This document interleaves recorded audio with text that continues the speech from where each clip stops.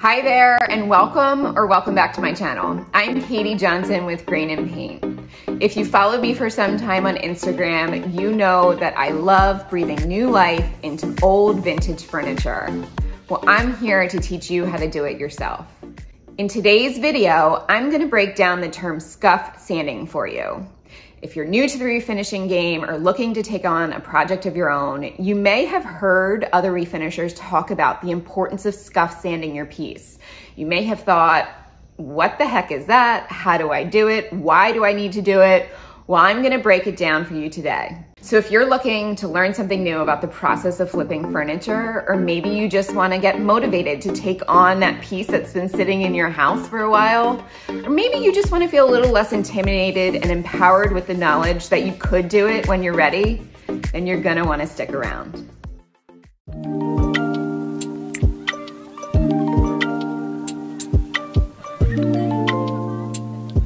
So if you're new here, I take vintage pieces of furniture just like these and I flip them into something beautiful. I have been able to furnish most of my home on a budget this way and now I'm contributing to our family's household income by flipping furniture on the side. Here in these videos, I take you step by step through the furniture refinishing process so you have information and the knowledge to be able to do it on your own. Today, I'm gonna to talk to you about scuff sanding.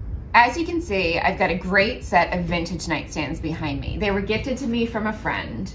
I've already gone ahead and removed the hardware and I've also cleaned them up check out my video on cleaning your piece properly and all the steps that I take on every single piece I flip. Okay, so what the heck is scuff sanding? It's also a tongue twister. Scuff sanding is exactly that. You are scuffing up or making little tiny scratches on the finish of your piece in order for your paint to have something to adhere to. A lot of times you will hear refinishers say they're scuff sanding the piece to give it some tooth, something for your paint to grab onto. Scuff sanding always makes me think of when I was a kid and my mom would go out and buy us a whole new set of clothes for a holiday or something like that, including some shiny shoes.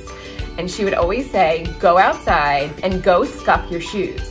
So we would have fun. We would go and we would scuff up the bottom of our shoes so we wouldn't slip because the shininess and the factory finish on the bottom of our shoes was very smooth, similar to the pieces of furniture that you're gonna be working on. You can see a lot of these old vintage pieces have a finish on top. It might be a polyurethane, it might be a wax varnish but you need to really scratch up that surface in order for your paint to have something to adhere to, to give it that tooth. Okay, so now you know what scuff sanding is and why we scuff sand our pieces when we're refinishing them. But let me walk you through the how we scuff sand, when we scuff sand, where we scuff sand, and all the other good information that you're gonna want to know when you're preparing your piece for paint. One of the nice things about scuff sanding is you really don't need any fancy equipment to do it. Things that I always keep in my scuff sanding arsenal are sheets of 120 and 220 grit sandpaper that I like to cut down into smaller strips.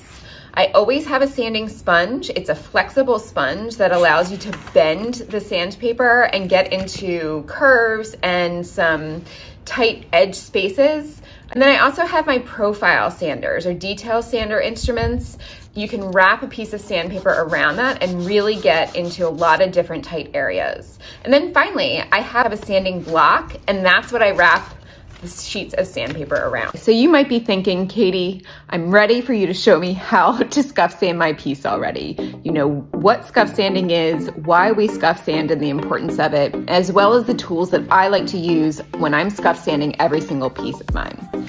So to start, I always take remove the drawers from my piece because I like to separate them and focus on them individually. I scuff sand my drawers separately, I paint my drawers separately from the base.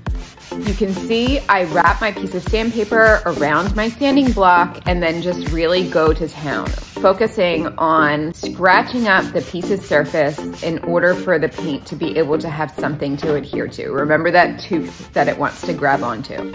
Always be sure to wear the proper safety equipment whenever you are scuff sanding. You can see throughout the scuff sanding process on these nightstands, I wore my ventilator mask. So I didn't inhale all those particles of dust and the finish that were coming up. I didn't inhale those into my lungs. So you're not looking to remove the finish from your piece while you're scuff sanding. Don't be afraid, in some cases you will remove the finish, but that's okay. We're gonna prime the piece and get a uniform surface prior to painting. What you really wanna focus on is removing any places that have that luster, that sheen, that shine, that's gonna interact with your paint and not allow it to adhere. One of the areas that I always seem to have issues with my paint adhering to are in these little ridges right here along the shelves and the drawers. So one of my favorite things is this profile detail sander, which all you do is you wrap a piece of sandpaper around it, which you can see, and it gets right in there. Another thing that you can use is a putty knife or even a credit card doing the same thing wrapping your piece of sandpaper around and really getting it out. And you can see it's just taking, you're not trying to remove the finish completely, you're just trying to take that shine away. Because a lot of times your grease is gonna lay there even after degreasing, or your varnish, or your wax buildup, your furniture polish buildup, all those things. And that's gonna present some problems with your paint adhering to your piece. Okay, so as you can see, the entire set is, has now been scuff sanded down. And guess what? I did it using just one sheet of the 120 grit sandpaper. How good is that?